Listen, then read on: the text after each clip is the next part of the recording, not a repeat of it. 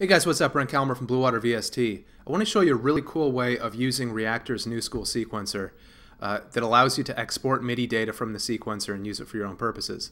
So what we're going to do here is, is use this in Ableton Live. I've set up an open live set, or a new live set, and I have set up a MIDI track uh, with the name SEQ just to stand for sequencer. I have REAKTOR on this track, and into Reactor I have loaded the Life instrument.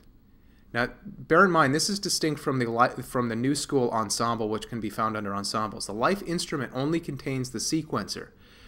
The uh, the ensemble itself contains both the sequencer and the sound generation unit, but we just want the sequencer. We just want to export MIDI data from this and use it for our own purposes.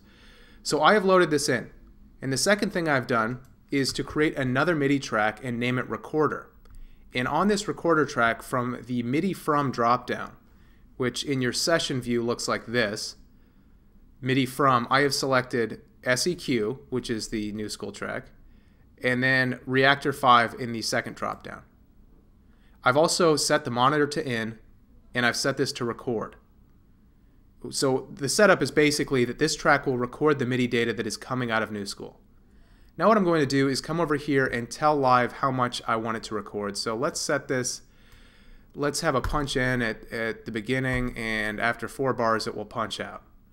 I'm going to set the master to record and then I'm going to get this going and we should see the MIDI data being recorded in there. Let's go.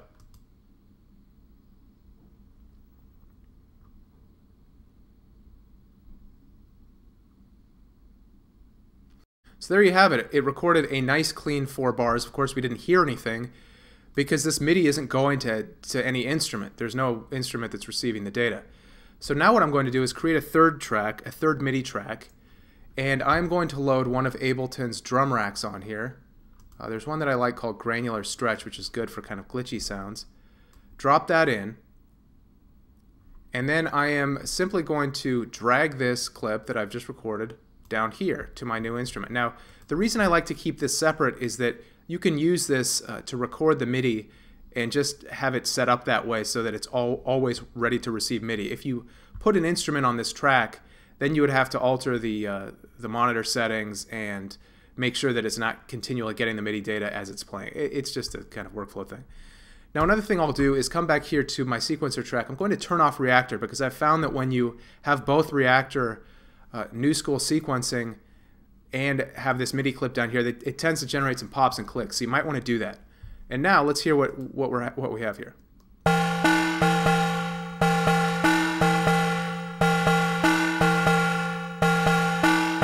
So it's kind of a basic groove. Now, now all of this is going to depend on what snapshot you have selected in the sequencer track in, in Newscool. Here we just have the, the default snapshot, which is called My Home. But if we come back down here, we can go to one of the MIDI effects, pitch, drag this in, and select our hits this way. So if I tune this down by an octave, by going negative 12 semitones, now you see that it is using that kick drum for that lowest hit right here. If I can uh, fold these up, I guess they're already folded. Uh, you can see that kick here. Another thing you'll notice is that the velocity basically comes in at the max. There's another way, there's a, a way to add some variety here that I'll show you later on. Now this is the basic way of doing it. So we we've now imported this groove, which is really quite cool. Uh, but there's a way to add variety here, and I'm going to show you how to do this next. It, it really blows this open to all sorts of possibilities. So that's coming up next.